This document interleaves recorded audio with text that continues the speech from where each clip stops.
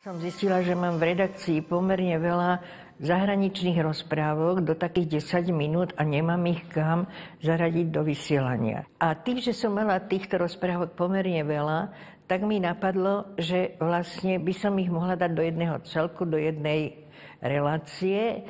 E, vymyslela som si, že by to mohlo mať okolo 40-50 minút, ale tým, že to má byť relácia, tak by to malo mať aj nejaký vstup a ten vstup to by mala byť zvučka.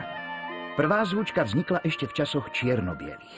S pokrokom vedy a techniky držala kroky naša telka a tak prišiel čas na farebný tuning. Upgradenutý príbeh o dvoch premietačoch a poetická hudba roky ohlasovali nedelné ráno. Rodinná socialistická pohoda vyzerala práve takto. Bielý maslový rožok, kakao a šup pred telku. Farebné rozprávky z celého sveta ako Nezabudnutelný dráčik či Počkaj zajac mali na socialistické Hollywoodom nepresítené deti priama hypnotický účinok. A rodičia za aspoň polohodinu kľud.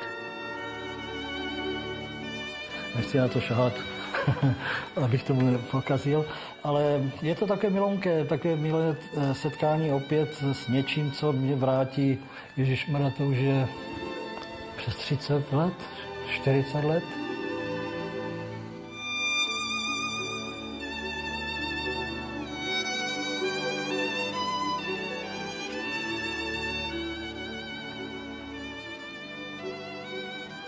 To je vzpomínka na mládí, ano.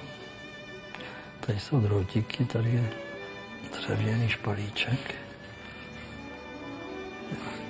Se sám divím, že takový malý a že se tak že se to tak dobře rozpohybovalo.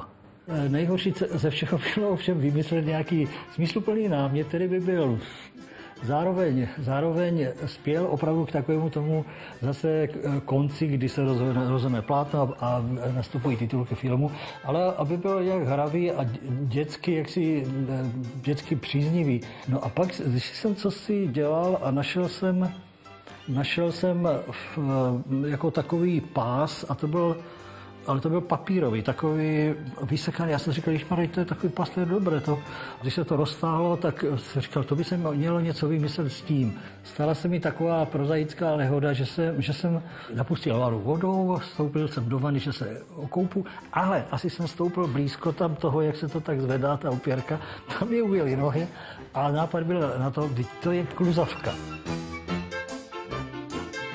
teď jsem úplně opravdu velmi spokojený a velmi potěšený tím, že nedost, že vidím tady ty návrhy, ale ty loutečky, ty mě úplně, teď mám takové cuklání si je stopit sám pro sebe.